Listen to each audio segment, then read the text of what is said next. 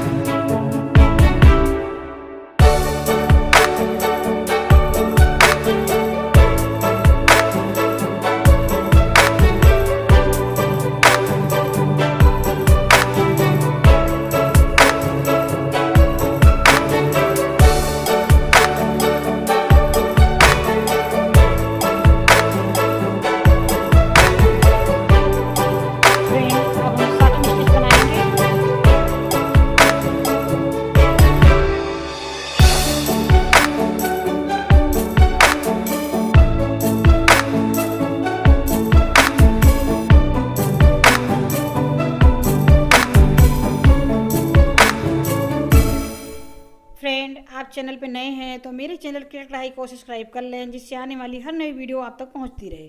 Please subscribe ज़रूर करें।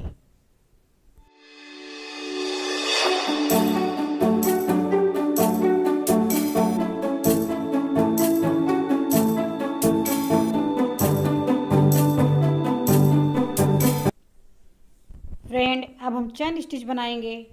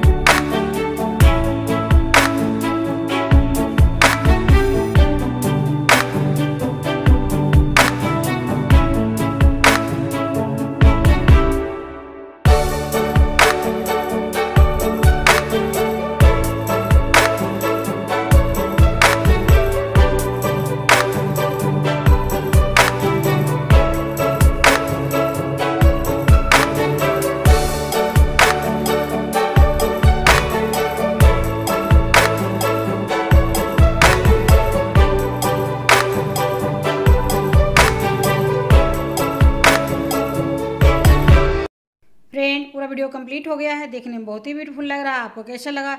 आप अपने कमेंट में ज़रूर करें। आप इसे ज़रूर ट्राई करें। वीडियो पसंद आए तो लाइक और शेयर ज़रूर करें। आप चाहें तो मुझे इंस्टाग्राम पे फॉलो भी कर सकते हैं। मिलते हैं नेक्स्ट वीडियो के साथ। Thanks for watching bye bye दोस्तों।